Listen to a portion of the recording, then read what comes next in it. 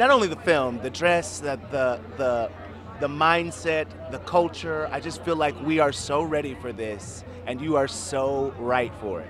Oh, thank you. I honestly just feel so lucky and grateful to be here, and uh, I'm just full of hope that um, this sort of opens the gates for um, more Asian Americans and Asians all around the world to um, have the confidence to tell their stories and to know that uh, people are listening and people want to hear them.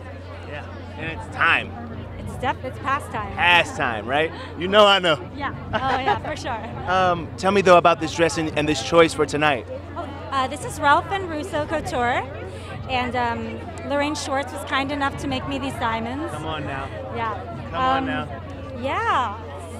I mean, I tried on several dresses, but then after we tried on this one, we Done. were like, why, Done. why try anything else? Exactly. And talk about like having to get the look right, especially for that wedding, right? The Marchesa dress worn there. What was it about that dress? Do you think that was like this is the one? I'm not sure. You know, there were a few dresses we were deciding on at the end, and um, I think John ultimately made that choice because he just thought it wowed a little bit more. Um, I, I was sort of going for a more simple, like elegant one, but he was like, "We need a wow factor here." No, we need a moment. Yeah, and uh, John M. Chu, let me say, is just, I learned so much from him, and he's kind of like my new hero. Um, just the most grace and passion and positivity of any human I've ever met. We can't wait for the sequel. Well, only if people come to the theater and we, you know, I don't think there's going to be to any problem with that one. I don't think there's going to be any Thank problem. you for honestly. your faith. I honestly. thank you. And this is like, like I said to you before, I feel like this is gonna have like Black Panther power. No joke.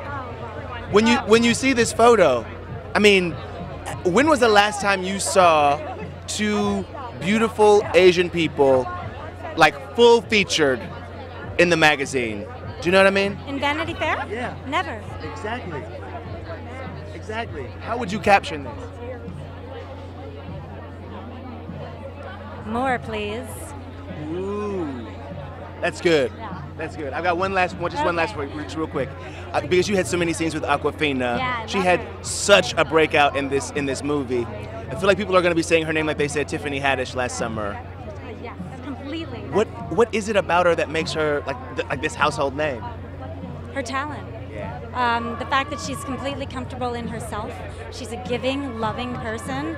Um, and uh, it's really because she's talented. She listens in a scene. She knows how to connect and play and have fun and be spontaneous. And those are just sort of like the elements of, uh, of great work, being great- in the moment.